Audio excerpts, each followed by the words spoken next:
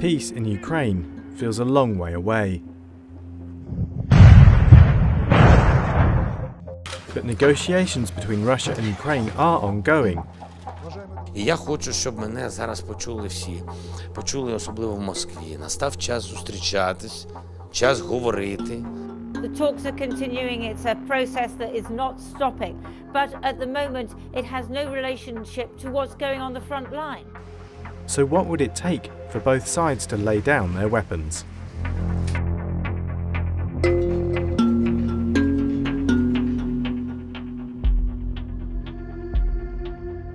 We've been discussing how much to make of all this talk about peace talks. You know, are they serious? Is President Putin serious? Do we have the contours of what a peace deal might look like? Uh, and I guess I'm going to start with you, Ed, um, because what do you make of all this chatter? Um, do you think the sort of the outlines of a peace deal when the time is right are becoming clear, or is it all really premature? Well, I think Sally, there are, there are. Uh, I think about what a peace deal involves, I think there are kind of three sets of things. The first thing is the status, the peace status of, of Ukraine. The second um, is the sequencing of the lifting of sanctions. Um, and the third, and I think the trickiest, is what happens to the land that Russia has taken. There's that whole um, area of land in the south of Ukraine by the Sea of Azov, which joins uh, Crimea to Russia across the land. And that is extraordinarily valuable land for Russia, uh, but it's also very important for Ukraine as access to the sea, and Ukraine exports large amounts of agricultural goods. Um, and so, if you if you think of those three things needed to get a peace deal, actually, if you take the totality, we haven't got very far down that path. One has to look at who's doing the negotiating here. And I think the Ukrainian side has got real authority to negotiate. But the Russian side, well, you know, it, uh, Russia's foreign minister, uh, Lavrov, only knew about the invasion the night before the invasion happened. He really hasn't, and the people under him really haven't got the authority to negotiate. There'll be one person who decides uh, when peace is to be done, and, and that's Vladimir Putin. So, Shashank, let's just pick up on a couple of those. So, one, in terms of the status of Ukraine. So, if NATO membership is out of the question, Zelensky has uh, accepted that too. What are the models we should be thinking about for a security guarantee that would make a kind of neutrality agreement work? That's what point one. And point two, um, what do you think is likely, given where the two sides are militarily, in terms of Ukraine's willingness to allow Russia to keep any of that territory, whether it's give up claims on Crimea or will the Russians demand more than that? Uh, Zanny, I, I can't really, and I've been thinking about this, I can't think of any post war modern example of a country which has freely accepted such onerous terms of the sort the Kremlin is demanding. That is not just neutrality, but also uh, demilitarization, uh, stringent constraints on the size and nature of the armed forces, limitations on security blocs. I think the most important question is going to be how sizable an armed force will Ukraine retain, and how much Western support in the form that it's been getting the last several weeks will it continue to have? That's the Finnish model of armed neutrality, making itself indigestible, and I think that's probably one of the most important routes for, for, for, for Ukraine to follow.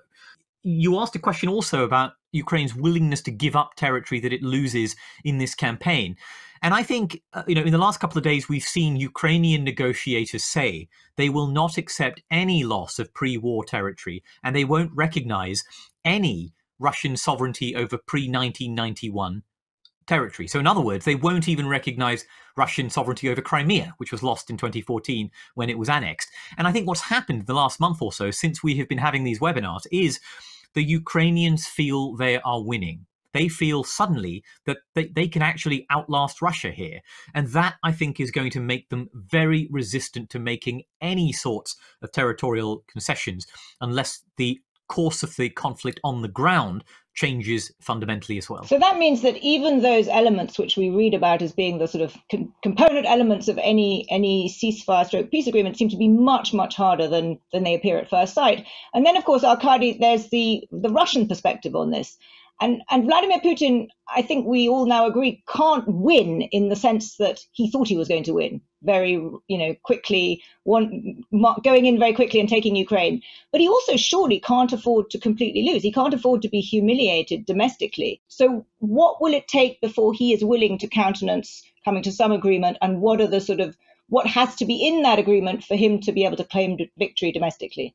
That's a very good question, Zanny. Uh, to answer it, can we just make a step back?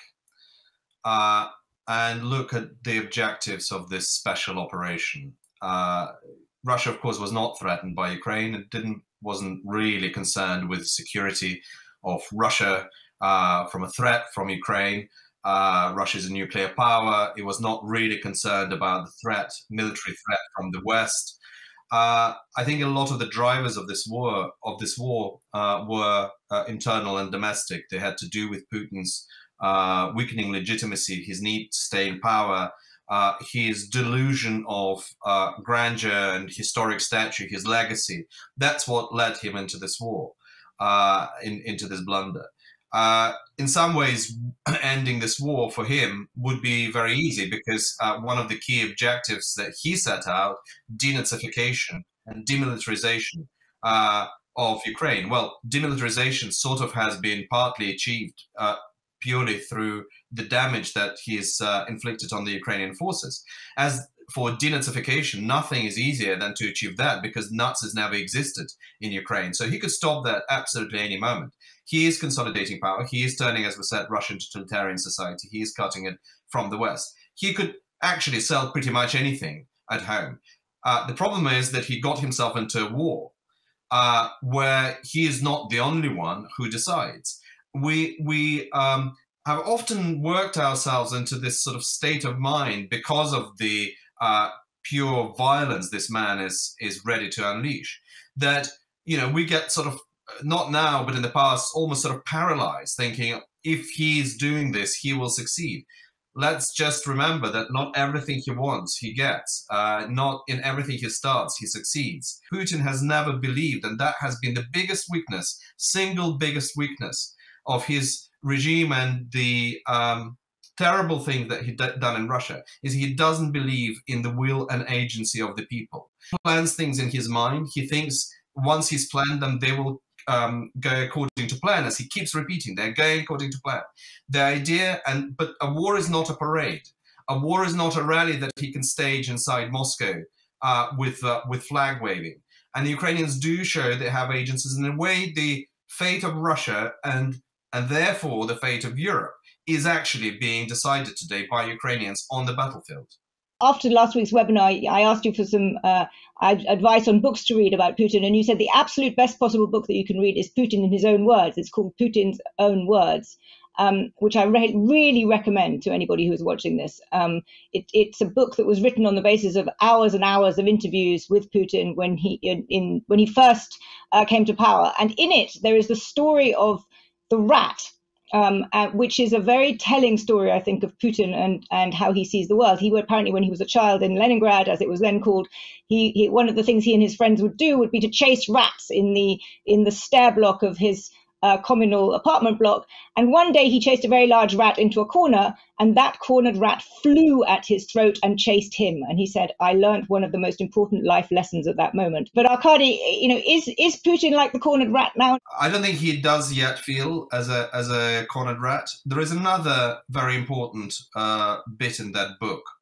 Uh, which directly relates to what we've been talking about. And the story which he tells is that of uh, his KGB file, and why uh, he was not promoted uh, higher up within the ranks of the KGB. He actually was very low-ranking serving officer uh, in the GDR. And the two things that were entered on his file by people who interview, examine these people, you know, psychologically assess them, are two traits that stop him rising. Is one was his recklessness, and the second was the lack of empathy.